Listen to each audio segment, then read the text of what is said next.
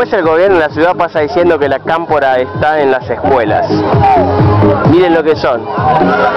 Utilizan a los alumnos para ponerle la pechera del gobierno de la ciudad. Están haciendo política para alumnos de primaria. Acá pueden verlo. Está muy bien claro. La publicidad que hace el gobierno de la ciudad con las escuelas públicas. Si la política no está presente por parte del gobierno de la ciudad, ¿dónde está? ¿Qué es esto? Esto es utilizar a los alumnos para la política.